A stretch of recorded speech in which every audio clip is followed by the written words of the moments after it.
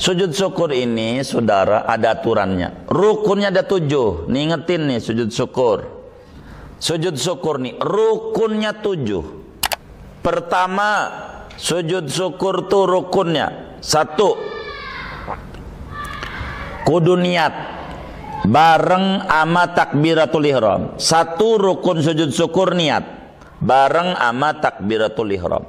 Dua, takbiratul ihram membaca takbiratul ihram. Tiga, sujud satu kali. Sujud. Empat, tumak nina dalam sujud.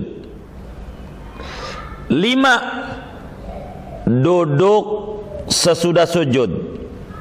Enam, salam. Tujuh, tertib. Ini rukun sujud syukur. Bacaannya apa sujud syukur tuh? Wis yang paling gampang, Subhana rabbiyal a'la wa bihamdi tiga kali. Itu aja bacaan sujud syukur. Subhan rabbil a'la wa bihamdi. Sebab ketika turun ayat Sabbihisma rabbikal a'la Rasulullah SAW langsung bersabda Ij'aluha fi sujudikum Jadikan subhana rabbiyal a'la pada bacaan sujud anda Umumul maqal yastalzimu umumal ahwal. Umumnya sebuah ucapan mencakup berbagai keadaan termasuk sujud syukur. Jadi praktek sujud syukur itu begini, kita harus praktek biar nggak salah. Ini mau sujud syukur, kita habis dapat bonus dari kantor, katanya kita mencapai target. Dapat informasi, nggak boleh langsung sujud kalau nggak punya wudhu. Nih, anggap kita udah punya wudhu, nutup aurat, kiblatnya sono. Kita niat dulu, takbir. Nawaitu sajadah syukri sunatan lillahi ta'ala. Di hatinya aku niat sujud syukur sunnah karena Allah Ta'ala. Itu bareng dengan takbir. Allahu Akbar. Itu di hatinya aku niat sujud syukur sunnah kalau Ta'ala. Udah takbir, turun. Allah, sunati turunnya nih. Allahu Akbar. Baca aja Subhanallahi a'la tiga kali. Subhanallahi a'la bihamdihi, subhanallah bihamdihi, subhanallahi a'la wa bihamdihi. Udah tiga kali duduk Allahu Akbar. Langsung duduk tasawuf akhir. Allahu Akbar. Udah begini salam.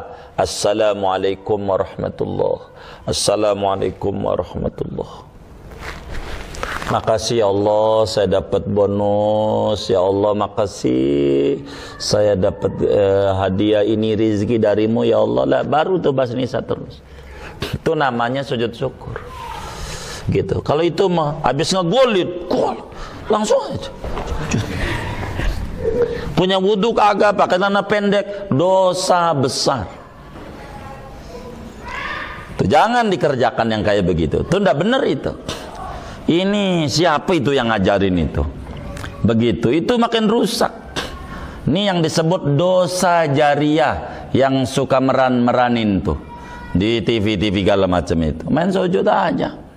Yang kagak. Begitu. Paji, paji iya. Anaknya dapat rezeki itu. Gitu. Dia langsung aja sujud syukur. Rezeki apa? Judi menang. Judi aja sujud syukur. Judi menang. Ini kurang ajar yang kayak begini ini. Ah, salah aja. Enggak benar itu. Itu sujud syukur. Begitu juga kita terhindar wabah. Alhamdulillah kita selamat syukur.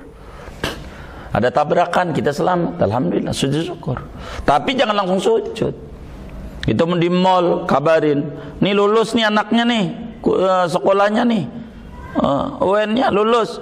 Langsung aja syukur. Ya, punya wudhu enggak apa enggak? Gitu. Dilihat dulu ngadep kiblat tutup aurat. Kalau itu udah langsung aja alhamdulillah. Jangan sujud sebab ada ajarannya.